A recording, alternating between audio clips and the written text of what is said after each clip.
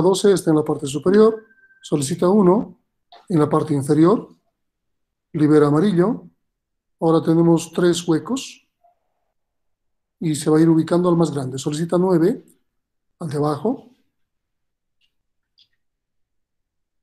solicita 13 al de abajo, el de abajo ya no debería habilitarse porque ya tiene un hueco muy pequeño.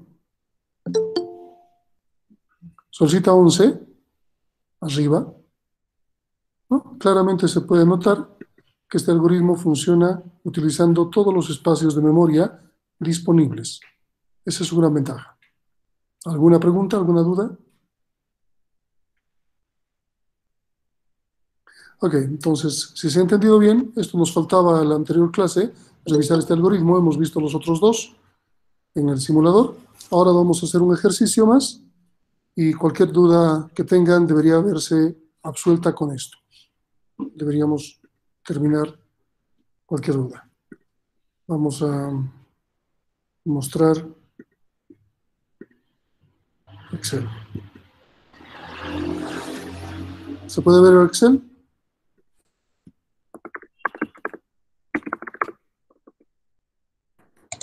Sí. Sí, Jesús.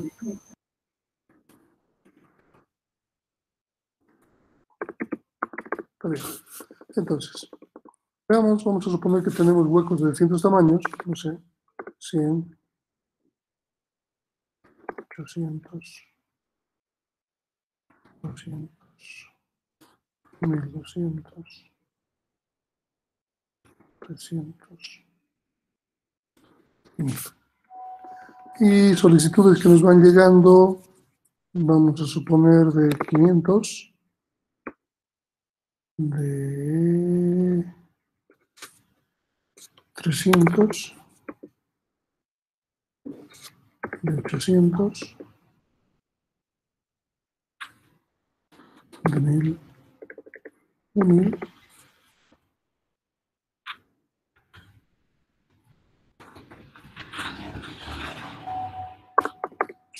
Ok. Entonces, veamos. Vamos, voy a pintar amarillo como si fuese la cola de, de solicitudes, para que se entienda. Y empezamos con First Fit. Empezamos con 500. ¿Dónde vamos a colocar en First Fit? 800. En la de 800, ¿ok? Nos queda 500 asignado y 300 libre. Luego, la de 300. 1200. Ok. Luego la de 800. 1000. Luego la de 1000.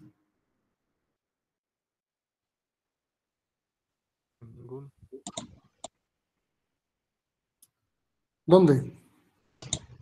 Ninguno. No cabe. La de 200. 200. La de 100. 100. Ok. Entonces, tenemos fragmentación interna y fragmentación externa. La fragmentación interna es igual a 0 más 300 más 0 más 900 y más 200. ¿Cuánto es la fragmentación externa?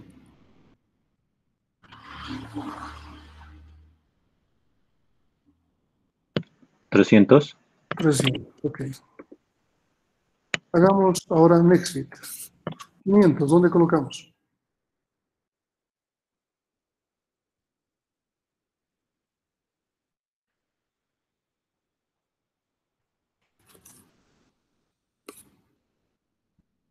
¿Dónde ingresan los documentos? 800. 300. 1200.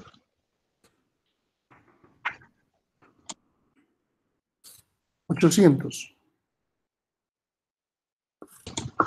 1000.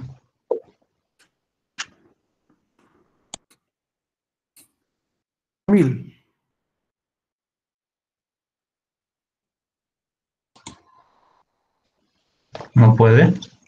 200.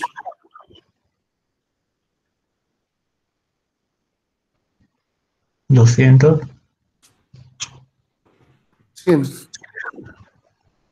Trescientos. ¿Dónde? En trescientos. En 300, eso. Ok.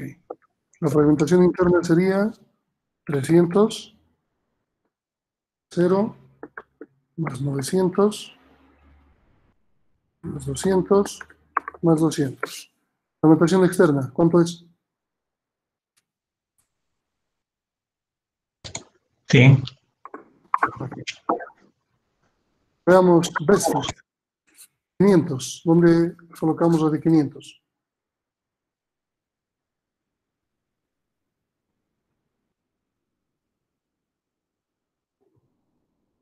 ¿800? Ok. 300. Trescientos. 800.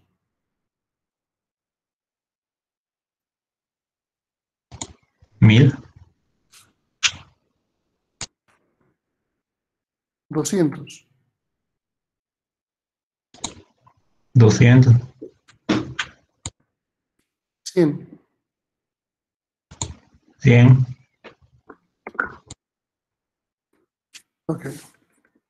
Fragmentación interna sería 0 más 300 más 0, 0 más 200. Fragmentación externa. ¿No se saltó el de 1000? ¿Dónde estamos? 800 ha sido la última que hemos colocado. ¿Dónde? Aquí, al de 1000. ¿No? Sí, nos falta la de 1000. ¿Dónde se coloca la de 1000? Mil doscientos. Ok. Entonces, aquí tenemos que sumar 200 más. ¿Está bien? ¿Está bien? Sí. ¿Cuánto tenemos de externa? Cero. Ok. Veamos worksheet. 500, ¿dónde colocamos? Mil doscientos. 300, ¿dónde colocamos?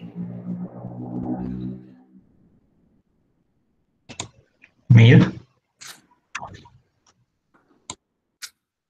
800, Ochocientos. 1000, No puede. 200, Trescientos. 100,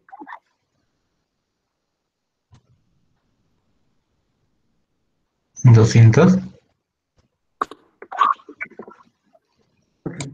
Fragmentación interna sería 0 más 100 más 700 más 100 más 700.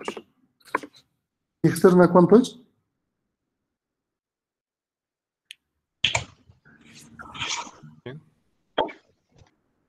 No escucho, ¿cuánto es? 100. 100, Esto, ¿cuál sería la que mejor ha utilizado la memoria?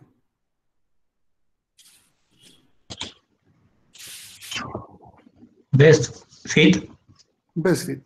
Tiene una fragmentación interna de 700 y una externa de 0. Es la mejor. Esa es la idea.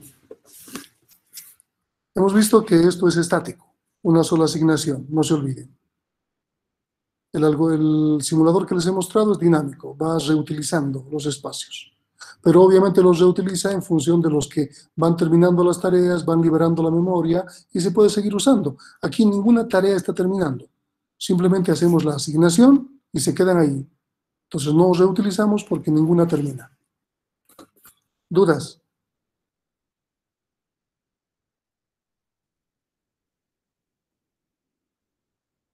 ¿Algo que no hayan entendido?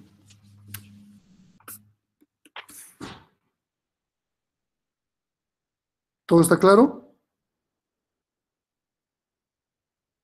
Probablemente en el examen tengan una pregunta de este tipo. Nada difícil. ¿Está bien?